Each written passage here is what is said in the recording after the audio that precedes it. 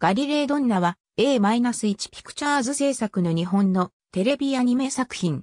2013年10月10日から12月19日まで、フジテレビの深夜アニメ枠、ノイタミナで放送された。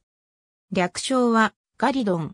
イタリアに実在した学者ガリレオ・ガリレイの子孫という、設定の三姉妹が主人公のバトルアクションアドベンチャー。タイトルロゴには、ストーリア・ディトレ・ソール・レイエー、かつアディウ・ミステロと、イタリア語の一文が併記されている。アニメーターとしても知られる、梅津康臣が、原案、監督を務める。梅津のオリジナルテレビアニメ作品は2004年放送のメッツォ、メゾマイナスから約9年ぶりであり、2014年放送の監督、キャラクターデザイン作品、ウィザード、バリスターズ・ベンマシ・セシルに続いて企画していたオリジナル監督作品でもある。また、足立慎吾がオリジナルアニメーションのキャラクターデザインを務めるのは本作が初となる。2013年7月5日に開催された2013ノイタミナラインナップ発表会にて制作が発表され、3つの月の物語というキャッチフレーズとティザービジュアルが公開された。キャッチフレーズはキービジュアルの第2弾公開後はガツが照らす私たちの未来となっている。企画は7年前の2006年に立てられ、タイトルはガリレオガール等を候補としていたが、東野敬吾のガリレオシリーズと被るため、最終的にガリレードンナとなった。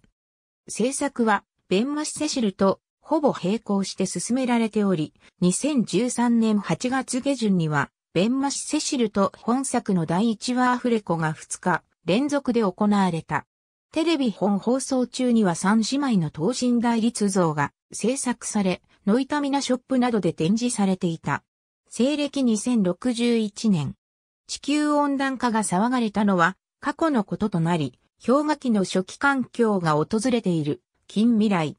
イタリアのトスカーナに住むガリレオ・ガリレーの子孫、フェラーリ三姉妹の三女の星月、フェラーリは謎の飛行艇に追われていた。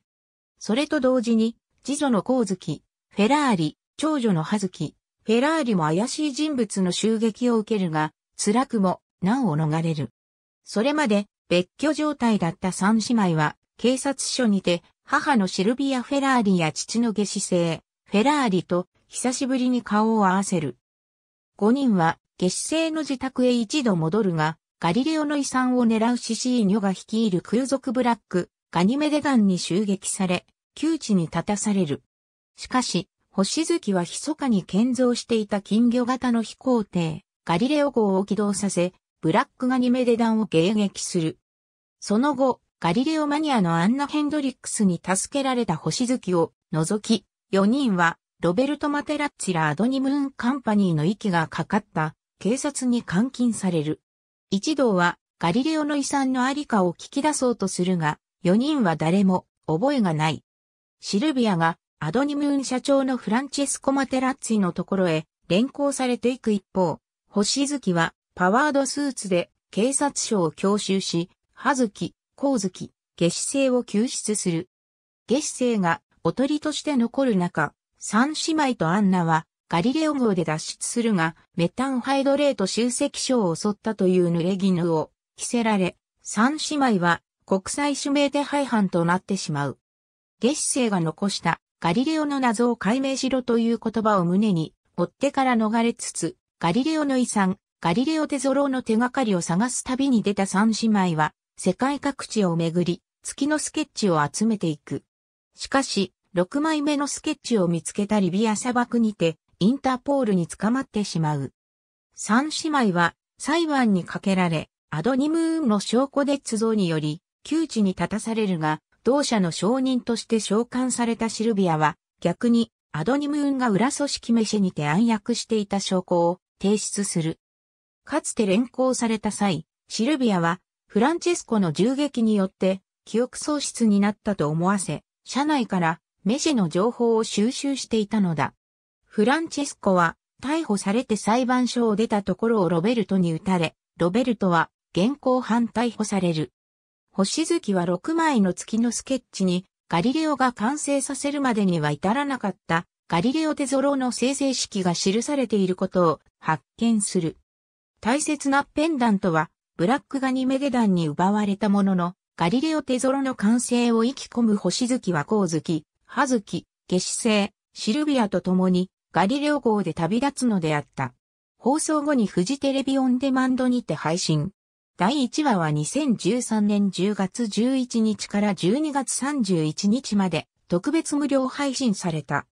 2013年9月27日にフジテレビマルチシアターにてノイタミナ10月クール特別試写会ガリレードンナデーとして第1話が先行上映された。